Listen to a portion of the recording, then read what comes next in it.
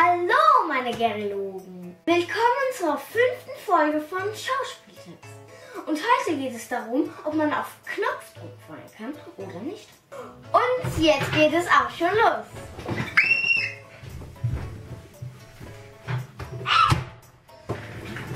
Los! Weinen. Es ist die beste Methode des Körpers, um übertriebene Emotionen darzustellen. Viele verbinden mit Weinen Trauer und man weint ja auch meistens, wenn man traurig ist, aber es geht doch bei den meisten anderen Gefühlen. Man kann weinen, weil man traurig ist. Man kann weinen, weil man übertrieben fröhlich ist. Man kann weinen, wenn man übertrieben wütend ist und ein voll die Fresse hauen will. Man kann weinen, wenn man gerade auf die Fresse bekommen hat und deswegen Schmerzen und Aua Aua hat. Man kann vor Angst weinen, man kann vor Verzweiflung weinen, man kann vor Eifersucht weinen, man kann vor allem weinen. Weinen! Und genau das ist auch der Grund, warum Schauspieler alle so darauf besessen sind, zu weinen, beziehungsweise weinen zu können. Denn Gefühle glaubhaft rüberzubringen, ist ja das A und O für jeden Schauspieler. Und dafür eignet sich Weinen sehr, sehr, sehr gut. Ja. Das ist für jeden Schauspieler ja auch das Wichtigste, Gefühle glaubhaft rüberzubringen. Hast du gerade geklatscht, während ich gedreht habe? Und jeder Arsch auf dieser Welt fragt sich, kann man, kann man lernen auf Anhieb zu weinen? Und die Antwort kommt jetzt.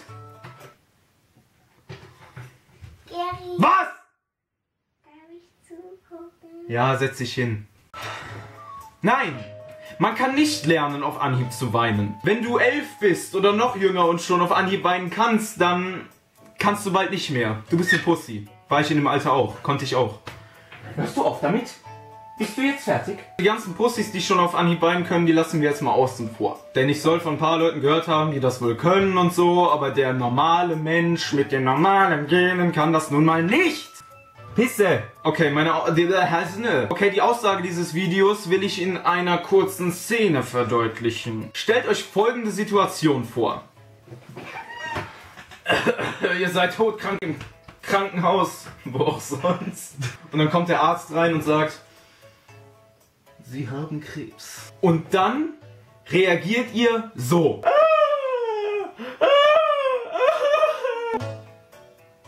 Ist das dein Scheiß Ernst? Nein, so reagiert man eben nicht. Das ist, die Schauspieler, die das nachstellen müssen, also viele, ich sag mal Amateure, ich bin auch ein Amateur, ich sag nichts, versuchen dann das Weinen so glaubhaft wie möglich rüberzubringen und schreien und kreischen sich dann einen ab. Die sitzen dann da. Äh, äh, das sieht scheiße aus. Abgesehen davon, dass niemand bei so einer Nachricht so reagiert okay, vielleicht einige, aber die meisten nicht, ist es viel glaubhafter, wenn man dann folgendermaßen reagiert. Man guckt geschockt und schluckt. Man zittert mit dem Kinn ein bisschen. Und die Stimme. Mit der, mit der Stimme stockt man an ungewöhnlichen Stellen. Und es muss, es muss so aussehen, als würde man gegen die Tränen ankämpfen. Ihr versteht, was ich meine. Man ist halt ein bisschen stockend mit allem und alles zittert und man kämpft einfach dagegen, nicht zu weinen. Das ist viel glaubhafter zu sagen, nein, ich weine jetzt nicht, ich bin stark als Okay? Hast du verstanden? Blöde Potsau!